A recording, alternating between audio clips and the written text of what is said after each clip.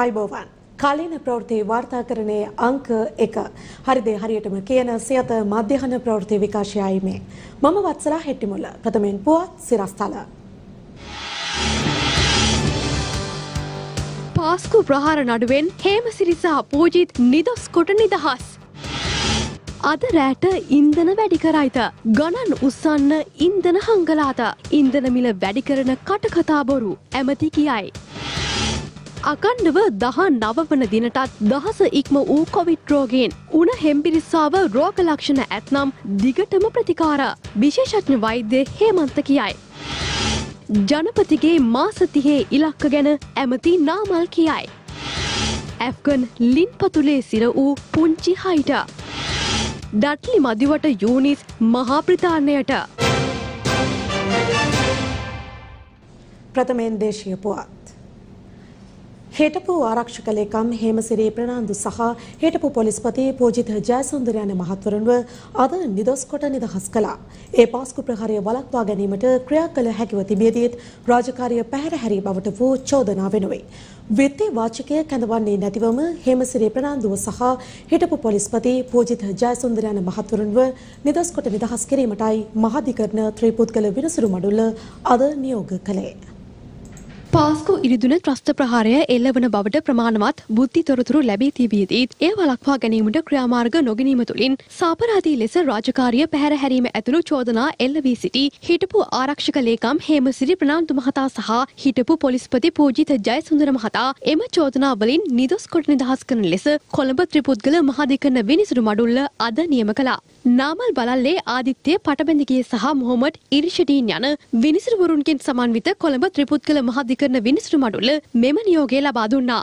දීර්ඝ නඩු විභාගයකින් අනතුරුව නියෝගය ප්‍රකාශයට පත් කළ විනිසුරු විත්ති වාචකය කැඳවීමකින් තොරව විත්තිකරුවන් නිදොස් කොට නිදහස් කිරීමටයි නියෝග කළේ. මෙම නඩුව ගොනු කිරීමට පෙර නීතිපතිවරයාට ඒ පිළිබඳව දෙවරක් සිතා බැලිය යුතුව තිබූ බව විනිසුරු මොහොමඩ් ඉරිෂඩීන් මහතා නියෝගය ප්‍රකාශයට පත් කරමින් සඳහන් කළා. විනිසුරු ආදිත්‍ය පටබැඳිගේ මහතා සිය තීරණය ප්‍රකාශයට පත් කරමින් තීරණ ගැනීම අතින් විත්තිකරු අසරණ තත්ත්වයක පසු වූ බව සාක්ෂිවලින් පෙනී යන බවයි සඳහන් කළේ. සාක්ෂිකාර රාජ්‍ය බුද්ධිසේවේ හිටපු ප්‍රධානයා සිය වගකීම ඉටු කිරීම පැහැර හැර එහි වගකීම ජාතික බුද්ධි ප්‍රධානයා මත පැටවීමට ඔහු ක්‍රියා කර ඇති බව පෙනී යන්නේ යැයිද පටපැඳගේ විනිසුරුවරයා ප්‍රකාශ කළා. ඔහු අත්තරංගුවට ගැනීමට උපදෙස් දීම පවා ගැටලු සහගත බවයි විනිසුරු පටබැඳගේ මහතා වැඩිදුරටත් සඳහන් කළේ. දෙදහස් දහ නවේ වසරේ අප්‍රේල් මස හත්වනදා සහ එම මස විසි එක්වනදා අතර කාල සීමාව තුළ ජාතික තව්විත් ජමාත් සංවිධානයේ නායක සහරාන් හශීම් ඇතුළු මෙම සංවිධානයේ සාමාජිකයින් පිරිසක් කොළඹ නගරේ පිහිටි කිතුුණු දේවස්ථාන සහ හෝටල් ආශ්‍රිතව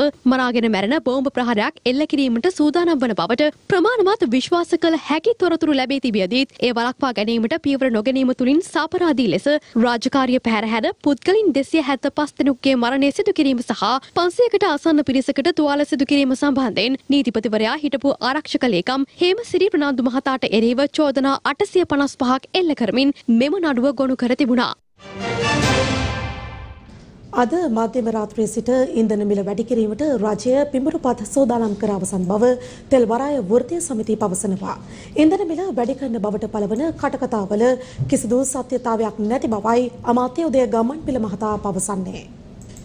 අද මධ්‍යම රාත්‍රී සිට කනිජතෙල් නීතිකත සංස්ථාවේ ඉන්ධන මිල වැඩිකිරීමේ සූදානමක් පවතින බව සමග එකපත්ත වෘතිය සමිති සඳහනේ කැඳවුම්කරු ආනන්ද පාලිත මහතා පවසනවා. ඉන්ධන මිල වැඩි කරන තෙක් ඉන්ධන තොග ඇතැම් පිරවුම් හල් තුළ සංගවා ඇති බවත් ඔහු වැඩිදුරටත් ප්‍රකාශ කළා. පැහැදිලි වාර්තා වෙනවා ඊයේ වෙනකොට සංස්ථාව ඉදිරිපත් කරපු පෙට්‍රල් සහ ඩීසල් වැඩි කිරීම මුදල් අමාත්‍යාංශයේ පිළි අරගෙන තියෙනවා. එහෙනම් ඉතා පැහැදිලි අද මධ්‍යම රාත්‍රී වෙනකොට ඉන්ධන වැඩි කිරීම මේ දූෂිත සූත්‍රයේ ක්‍රියාත්මක වෙනවා. මේක කිසිම සදාචාරාත්මක ආණ්ඩුවට අයිති නෑ. මාස 17ක් වැඩ සිට අඩු කරෙත් නෑ. දෙසැම්බර් 20 මාස 3ක එක දිගට අඩු යකේ වැඩි කරේ. එහෙනම් රජයේ නාස්තිය දූෂණය නොහැකියාවයි. දූෂිත ගනුදෙනු වහගන්න ජනතාව පිට බරවටම බරපැටි මේ ඉන්ධන මැලවිඩ වැඩි කිරීම කිසිසේත් පුළුවන් මේකට ආණ්ඩුවට කියන්න කිසිම හේතුවක් නැහැ. ද රාත්‍රිය කියන්නේ ජනතාවගේ අඳුරුම රාත්‍රිය බවට පත්වීමට 190ක දැඩි ඉඩකඩක් තියෙනවා. අද මේක ඔබගේ මාධ්‍යෙන් ගියාට පස්සේ කල් ගන්න පුළුවන්. නමුත් දැන් අනුමත කරලා තියෙන්නේ ඒ කියන්නේ ඉතිහාසයේ වැඩිම මිලකට ඩීසල් පෙට්‍රල් ඇතුළු ඉන්ධන වැඩිවීම අද රාත්‍රී සිදුවීමට සියලු පිඹුරුපත් ඊයේ වෙන විට සකස් කර අවසන් බවට පැහැදිලි වාර්තා මේ වෙනකොට නිකුත් වෙලා තියෙනවා. මේ අතර ඉන්ධන මිල වැඩි කිරීමේ කිසිදු සූදානමක් නැති බවයි අමාත්‍ය උදේ ගම්මන් පිළ මහතා අද පැවති ප්‍රවෘත්ති සාකච්ඡාවේදී ප්‍රකාශ කළේ. යන අපි තාම මිල වැඩි කරන තීරණයක්වත් අරගෙන නැහැ. ඒ නිසා මම ඉන්ධන අල්ලිමියන්ගෙන් ඉල්ලා සිටිනවා මිල වැඩි කිරීමේ මේ පාර අපේ දැන් සභාපතිතුමා කියනෝනේ ඩීසල් ලීටරෙන් රුපියල් 52ක් පාඩුයි කියලා. ඒතර මේ අය හිතනවා අපි ගාව ඩීසල් ලීටර් 10000ක් තියෙනවා. දැන් මේක 52කින් වැඩි වුණොත් රුපියල් 520000ක්. ඒක නිසා මිල වැඩි කිරීම බලාපොරොත්තු සමහර අය ඩීසල් නැත කියලා පුහුරු ගහලා මිල අද රැයට මිල වැඩි වෙනවා කියලා බලාපොරොත්තුෙන් පුහුරු ගහලා ඉන්නවා. ඒ නිසා මට වරින් වර කියනවා නෑ නෑ අද රාත්‍රියේ මිල වැඩි කරන්නේ නෑ කියලා. එතකොට වගේම අපේ මාධ්‍ය මිත්‍රයන් ඉල්ලා සිටින හැමදාම කතා කරලා අද රැයට වැඩි වෙනවාද කියලා අහන්නත් එපා. මොකද වැඩි කරන දවසක අපි කරන්නේ කවදා හරි දවසක වැඩි කරනවා නම් වැඩි කරන්නේ රටට නොකිය පෞද්ගලික විදුලි ජනන යන්ත්‍ර ඇති අයට ස්වයන් ජනනයට උපදෙස් දී ඇතැයි මහජන උපයෝගීතා කොමිසමේ සභාපති ජනක රත්නායක මහතා අද සියත පිළිසඳරට එක්වෙමින් ප්‍රකාශ කළා. ඒ අනුව ඊයේ දින තුල පමණක් මෙගාවොට් 70ක් විදුලි බල මණ්ඩලය ඉදිරි කරගත් බවයි ඔහු පවසන්නේ. මහජන උපයෝගීතා කොමිසම විදුලි බල තාක්ෂණය පිළිබඳ කිසිදු දැනුමක් නැතිව ක්‍රියා කරන බවයි මේ අතර විදුලි බල මණ්ඩල වෘත්තීය සඳහනයේ කැඳවුම්කරු රංජන් ජයලාල් ප්‍රකාශ කරන්නේ. මේ අතර ජනාධිපති ගෝඨාභය රාජපක්ෂ මහතා අද පෙරවරුවේ සුනිත්‍ය බලශක්ති අධිකාරියට හදිසියේ ගොස් තිබෙනවා. කොළඹ ප්‍රදේශයේ ස්ටෑන්ඩ් බයි ජෙනරේටර්ස් තියෙනවා විශාල ප්‍රමාණයක්. අපි ගණනය කරලා තියෙනවා සාමාන්‍යයෙන් මේ ප්‍රමාණය මෙගාවට් 3000ක වගේ ප්‍රමාණයක් තියෙනවා ලංකාව පුරාම. ඒ සියලුම ඒ ස්ටෑන්ඩ් බයි ජෙනරේටර්ස් කියලා කියන්නේ ස්ටෑන්ඩ් බයිම කියනකොට ඒකේ නිරූපණය වෙන්නේ අපි මේ ජෙනරේටර්ස් පාවිච්චි කරන්නේ ජාතික පද්ධතියෙන් විදුලිය නොලැබෙන අවස්ථාවක තමයි අපි ස්ටෑන්ඩ් බයි ජෙනරේටර්ස් පාවිච්චි කරන්නේ. හැබැයි මේ තියෙන විශාල ජෙනරේටර්ස් ප්‍රමාණය අපතේ යවන්නේ නැතුව මේ වගේ අර්බුදකාරී තත්වයක් තියෙන අවස්ථාවක අපි හිතනවා ඒ ජනරේටර්ස් වලින් තමන්ගේ විදුලිය තමන්ට ජනනය කරගන්න පුළුවන් නම් ජනන පද්ධතිය අපිට ජාතික පද්ධතියට එකතු කරන්නත් පුළුවන්. මේ ක්‍රම දෙකම වෙන්න පුළුවන්. දැන් අපි ඊයේ කරුණු ලැබුවේ මෙගාවොට්ස් 70ක පමණ ස්ටෑන්ඩ් බයි ජෙනරේටර්ස් ප්‍රමාණයක් ඒ ව්‍යාපාරිකයන්ට තමන්ම විදුලිය ජනනය කර ගැනීමට අවස්ථාව දීලා ඊයේ හවස හතරත් හයත් අතර අපි මේ මෙගවට් 70 කියන ප්‍රමාණය ජාතික පද්ධතියෙන් අයින් කළා. විදුලි කප්පාදුවකින් තොරව අපිට ඉදිරියට යන්න ඕන නම් මේ වගේ ඕල්ටර්නේටිව්ස් මේ වගේ ලංකාපුරා විසිරී පැතිරී තියෙන මේ අයිඩල් වෙන මේ සම්පත් ප්‍රමාණය නිරපරාධේ පැත්තකින් තියලා තියෙන එක ජාතික පද්ධතියට අරගෙන එහෙම නැත්නම් තමන්ගේ අවශ්‍යතාවය සපුරාගෙන මේ ඇතිවෙන හිගය කළමනායකරණය කරගෙන දීර්ඝකාලීන විදුලි කප්පාදුවකට තොරව ඉදිරියට යෑමේ අවස්ථාවක් හැකියාවක් අපිට තියෙනවා. අපි හිතනවා මේ තත්ත්වය තව වර්ධනය කරගෙන ලබන සමානයනකොට අපිට මෙගවට්ස් 300ක් කාර්ෂය ප්‍රමාණයක් ලබා ගන්න පුළුවන් නම් අපි දැනටමත් හඳුනාගෙන තියෙන්නේ මේවා. අපි අවශ්‍ය කටයුතු කරන CB එකත් එක්ක අවශ්‍ය කටයුතු කරනවා. එහෙම වුණොත් එහෙම අපේ ජාතික පද්ධතියේ ධාරිතාවය අඩු කරගෙන ඒ ඇතිවෙන හිගය කළමනාකරණය කරගෙන විදුලි කප්පාදුකෙන් තොරව යෑමේ ඒකායන අරමුණ තමයි තියෙන්නේ. දැන් මේ අද වෙනකොට කැලණිතිස්ස විදුලි බලාගාරේ සම්පූර්ණයෙන්ම නතරලා තිබෙනවා. නැප්ත නැහැ, දැවිතෙල් නැහැ, ඩීසල් නැහැ. ඒතර බාච් එකට තව දවස් 3ක් වගේ තමයි දුවන්න පුළුවන් විදිහට තෙල් තියෙන්නේ. අනිත් පැත්තේ මහජනපිතා කොමිසම අකණ්ඩව දිගින් දිගටම කිව්ව දේ තමයි කිසිසේත්ම විදුලිය අපි කපන්න දෙන්නේ නැහැ කියලා. මහජන උපභෝගිතා කොමිසම විදුලිය කපන්න දෙන්නේ නැහැ කියලා කිව්වට සැලසුම් සහගතව විදුලි බල මණ්ඩලයට දුවන්න තෙල් නැත්තම් කපන්න නැතුව වෙන කරන්න දෙයක් නැහැ. මහජනපිතා කොමිසම එක පැත්තකින් දැන් කියා කීමෙන් යනවා විදුලි බල මණ්ඩල නියෝග දෙන්න දෙනවයි කියලා පෞද්ගලික අංශයට ස්වයං ජනනය සඳහා ඉඩකඩ සලසලා දෙන්න කියලා. ඒතකොට අපි දන්නවා ස්වයං ජනනයට දුන්න ගමන් විදුලි බල මණ්ඩලයෙන් අධික මිලක් ඒකකයට පෞද්ගලිකයන්ට ගෙවන්න වෙනවා. එල්ලර බුද්ධට මේ මුල් අරබුදේ කරවටක් විදුලි බල මණ්ඩලයේ අනිවාර්යෙන් හිර වෙනවා. මෙහරා දැවන්ත අක්‍රමිකතා වංචා සිද්ධ වෙන්න පුළුවන්කමක් තිබෙනවා. මාස 3ක් නොරොච්චෝලේ බලාගාරයේ හදිසි විදුලි වැටීමක් සිදු නොවුනොත් ගල්නගුරු තියෙනවා කියලා අද අපිට වාර්තා වුණා නැව තුනක් ඇවිල්ලා. ඒක සතුටුන කාරණයක්. මොකද මෙගොඩ් 900ක් මහජන පුතා කොමිසමේ ඇතැම් යෝජනා අපිට දැනෙන දෙයක් තිබෙනවා විදුලි බල මණ්ඩලයේ තාක්ෂණීය පැත්ත. ඔවුන් හරියට ග්‍රහණය කරගන්න නැතුව කරන යෝජනා ප්‍රායෝගික නෑ කියන එක අපි නෙමෙයි කියන්නේ. ලංකා විදුලි බල මණ්ඩලයේ සාමාන්‍යාධිකාරිවරයාම මේක මේ- මේකට ප්‍ර- මෙවැනි ප්‍රකාශයක් මේ අතර ශ්‍රී ලංකා සුනිත්‍ය බලශක්ති අධිකාරිය අද පෙරවරුවේ ජනාධිපති ගෝඨාභය රාජපක්ෂ මහතාගේ හදිසි නිරීක්ෂණයට ලක් වුණා. විදුලි බල උත්පාදනයට ජල සූර්ය ශක්තිය සුළං වැනි පුනර්ජනනීය ප්‍රභවයන් යොදා ගැනීමට ඇති හැකියාව ශ්‍රී ලංකා සුනිත්‍ය බලශක්ති අධිකාරිය නිලධාරීන් ඍජු හමු වී තොරතුරු විමසා බැලීම ජනාධිපතිවරයාගේ මෙම හදිසි නිරීක්ෂණ චාරිකාවේ අරමුණයි. ගාල්ල වලහන්දුව තාක්ෂණ උද්‍යානයේ ඉදිකිරීමේ නිරීක්ෂණයට ජනාධිපති ගෝඨාභය රාජපක්ෂ මහතා එහි ගොස් තිබෙනවා. මෙහිදී අමාත්‍ය නාමල් රාජපක්ෂ මහතා ප්‍රකාශ කළේ මේ වසර අවසන් වීමට පෙර සෑම පුරවැසියෙකුටම ඩිජිටල් හැඳුනුම්පතක් ලබා දීමට සූදානම් බවයි. අපවත් වී වදාළ අතිපූජ්‍ය උඩුමලගල මහින්ද නාහිමියන්ගේ ශ්‍රී දේහයට ජනාධිපති ගෝඨාභය රාජපක්ෂ මහතා අවසන් ගෞරවය දක්වා තිබෙනවා.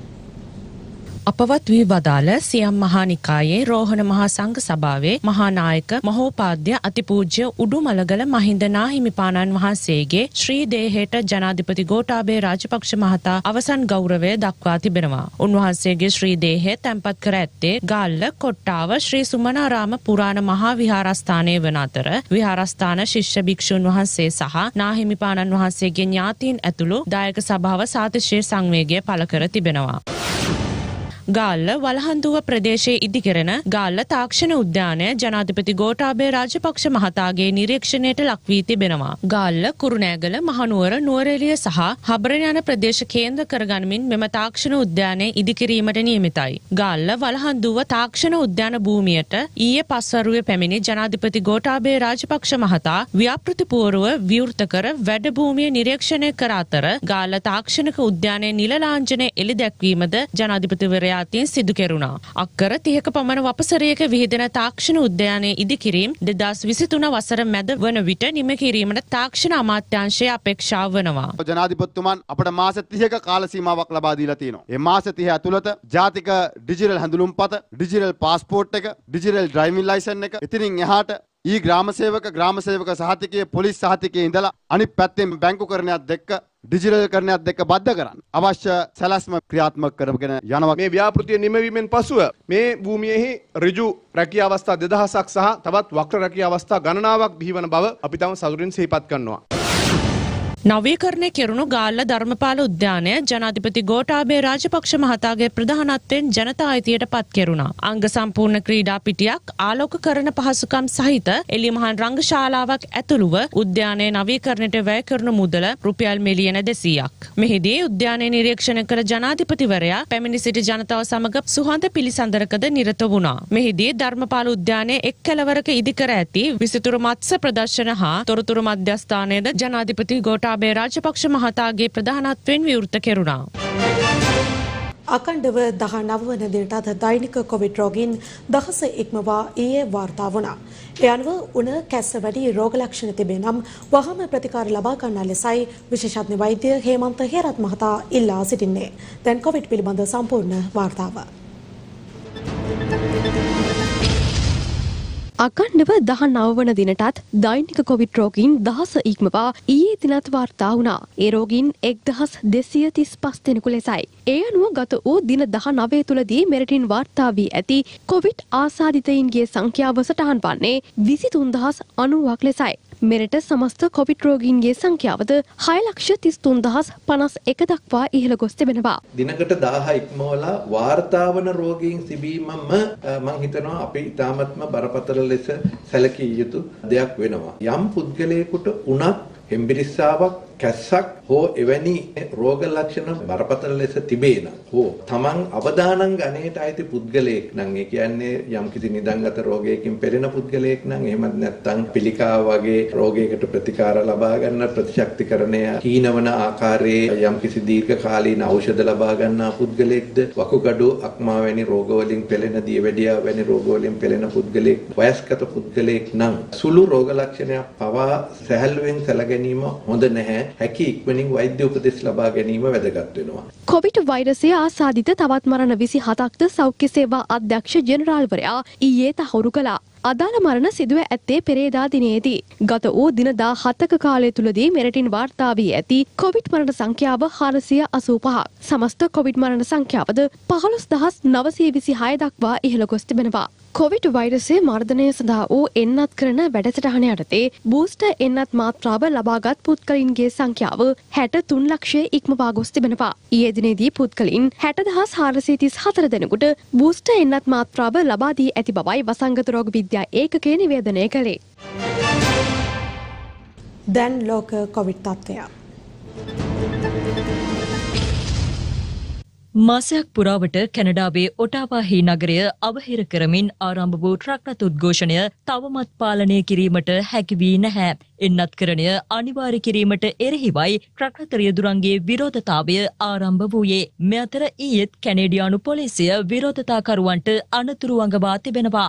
මෙවන විටත් පාර්ලිමේන්තුව අවට නගර වීදිවල ට්‍රක්රත හාරසියකින් පමණ අවහිර කර ඇති බවයි එරට මාධ්‍ය වාර්තා කළේ. ඒ අනුව එම ප්‍රදේශයට ඇතුළුවීම ප්‍රදේශවාසීන්ට පමණක් සීමා කර තිබෙනවා. කැනේඩියානු පොලිසිය වැඩිතුරටත් සඳහන් කළේ විරෝධතාකරුවන් ඉවත් කරන්නේ කවදාද යන්න නිශ්චිතව කිව නොහැකි බවයි. වර්ජනය පාලනය කර ගැනීමට අපොහොසත්වීම නිසා ඔටාවාහි පොලිස් ප්‍රධානයාද මීට දින දෙකකට පෙර ඉල්ලා අස්වුනා.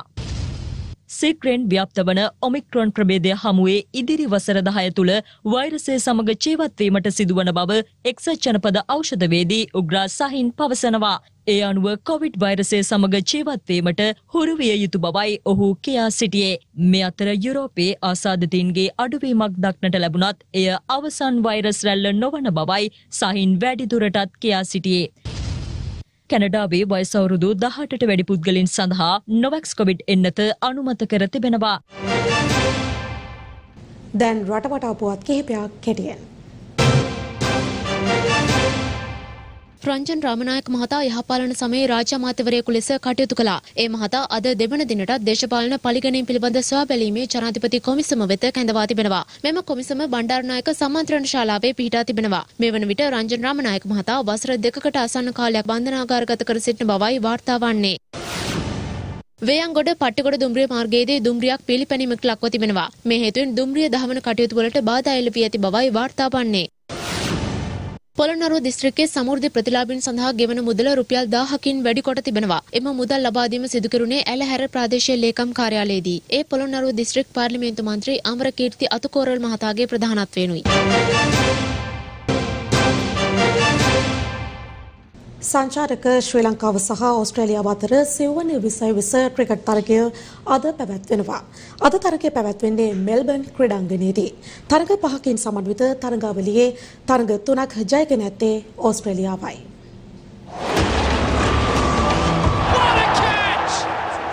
සංචාරක ශ්‍රී ලංකාව සහ ඕස්ට්‍රේලියාව අතර සිව්වන විස විස තරගය අද පැවැත්වෙනවා. පසුගියදා කොවිඩ් ආසාදිතව සිටි වනිදු හසරංග අද තරගය ක්‍රීඩා කිරීමට නියමිතයි. තරග පහකින් සමන්විත විස විස තරගාවලියේ මෙවන විට තරග තුනක් ජයග්‍රහණය කරමින් සමස්ත තරගාවලියේ ජය හිමි කරගෙන ඇත්තේ ඕස්ට්‍රේලියාවයි. තරගාවලියේ නිල විකාශක ලෙස කටයුතු කරන්නේ සියත TV අප නාලිකාවයි. පසුර එකයි තිහට ආරම්භ වන තරගයට ප්‍රථම ගෙනන විශේෂඥ විස්තර විචාරය දොළහයි තිහේ සිට සියත ප්‍රේක්ෂකෝවට නැරඹීමට අවස්ථාව හිමි වනවා.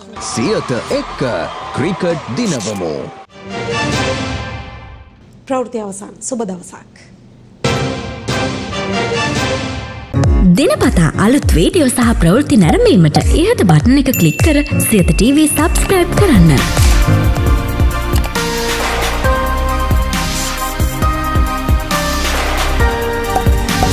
වීඩියෝ ගැන මුලින්ම දැනගන්න මෙම සීනුව කලික් කරන්න.